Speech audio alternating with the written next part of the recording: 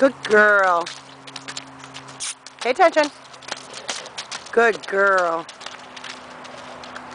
She's got a big, lofty, suspended movement.